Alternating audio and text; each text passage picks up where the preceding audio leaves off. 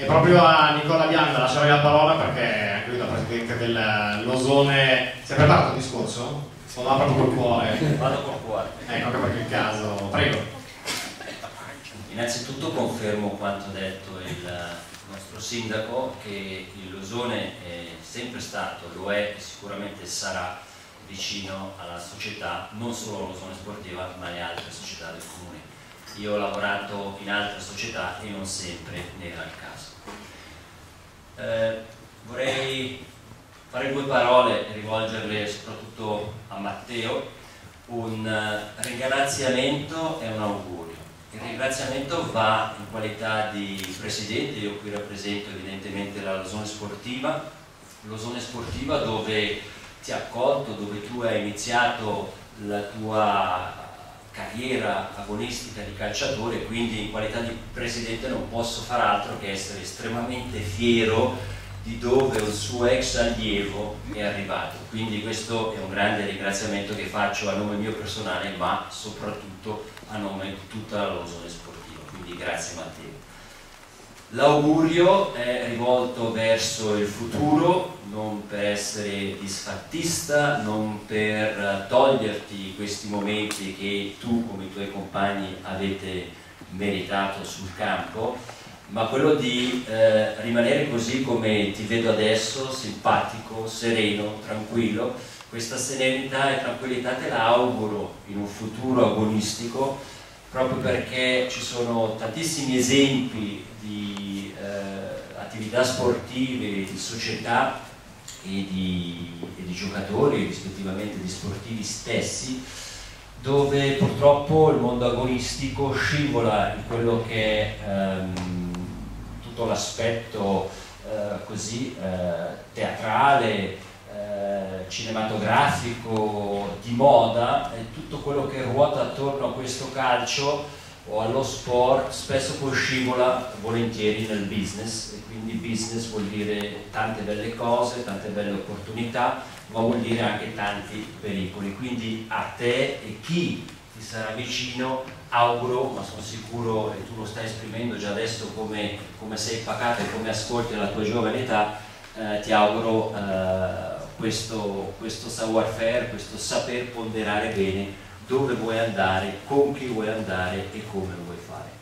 Ciò nonostante, grazie di cuore anche da parte nostra, come Losone Sportiva, come cittadino losonese, ticinese, svizzero, amante del calcio e tanti auguri per il futuro.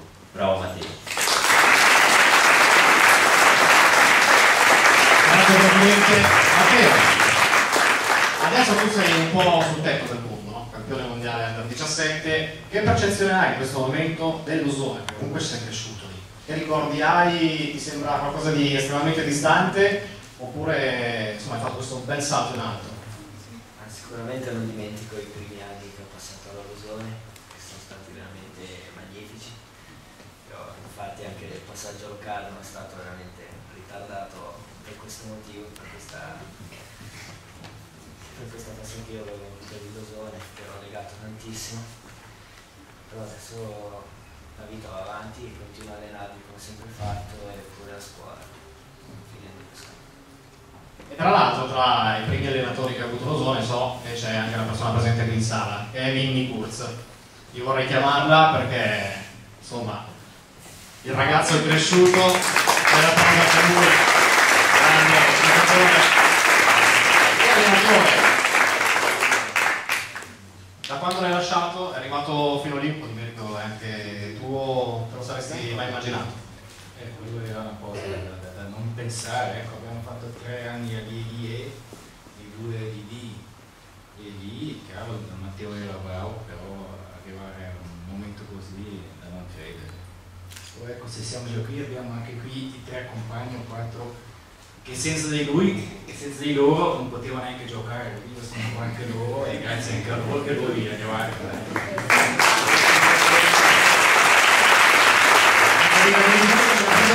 dai compagni, ragazzi. Potreste esserci voi anche perché effettivamente eh, bisogna, fare, bisogna, essere capaci, bisogna saper comunque anche far parte di, di un gruppo. Adesso, questo gruppo che, che situazione ha vissuto e che cosa insomma, avete da dirgli? Siamo prima di tutto contentissimi di quello che ha fatto Matteo, lo conosciamo quando eravamo tutti così, è bellissimo.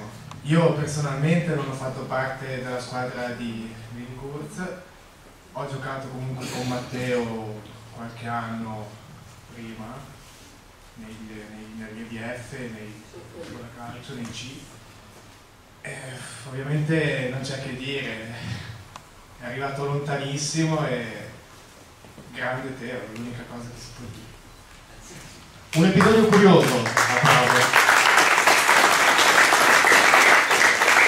Adesso non è che voglio ricordare Matteo come un ex calciatore, come quello che ha vinto, però qualcosa di particolare, una caratteristica sua in spogliatoio, in campo, si lamenta, rompe, non lo so. Boh, nello spogliatoio era simpatico e tutto. In campo, boh, lui ha un ottimo carattere nel senso che si arrabbia facilmente, però è un carattere vincente. Ci vuole un po' di quella cattiveria. Adesso darei la parola anche a Davide Morandi, allenatore del team 19 del 18 che conosce bene tanti ragazzi, conosce bene anche Matteo. Davide, tu adesso hai già parlato tanto di questa nazionale, adesso proprio abbiamo Matteo Tosetti. Di Matteo tu cosa vorresti dire, parlando proprio delle situazioni in campo e fuori e della crescita di un giovane calciatore, perché comunque deve ancora affrontare una bella fase di maturazione. Beh, il fatto che debba fare un processo di maturazione, il primo a saperlo è lui, quindi non penso che debba essere sottoscritto con le altre persone a doverlo ricordare, perché comunque è un processo automatico e Matteo è il primo di essere consapevole.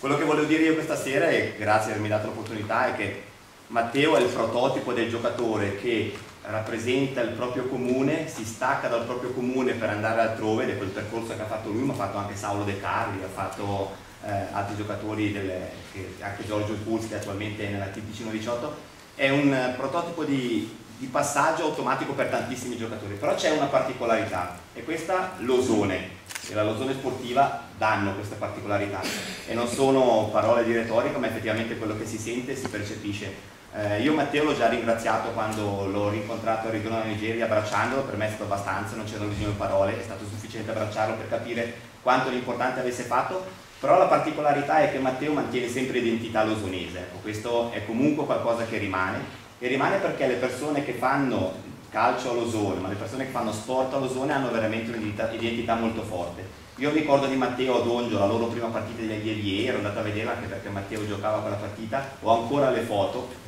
eh, tempo fa ho tirato fuori una foto dove c'era lui con eh, Saulo De Carli e Giorgio Curz, ecco, il tempo passa, però l'identità rimane. Quindi il fatto che voi tutti siate qua questa sera è sintomo che la Losone Sportiva è una società viva, che ha forza e che soprattutto mette i giocatori che passano con quella maglia arancione eh, nel, nel, nella miglior condizione per proseguire una carriera e se non è una carriera almeno per avere un'identità losonese quindi questo è quello che traspare da Matteo secondo me questo è il messaggio più bello che si possa dare a questi ragazzi che saranno giocatori futuro ma saranno probabilmente dirigenti, allenatori e quant'altro ma soprattutto cittadini ecco. Matteo sta dimostrando in questi giorni e questo è il segnale più importante che è un cittadino che è diventato uomo in fretta in queste ultime due settimane perché le sollecitazioni che ha avuto sono sollecitazioni non facili per un ragazzo di 17 anni. Quindi da parte mia un grande applauso a Matteo.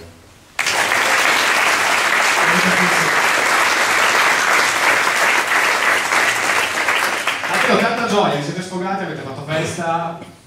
Non pesa adesso, non comincia a pesare un po' la responsabilità, magari di dimostrare qualcosa, perché poi eh, c'è una certa fragilità in questi momenti, no? O non ci pensi proprio del tutto?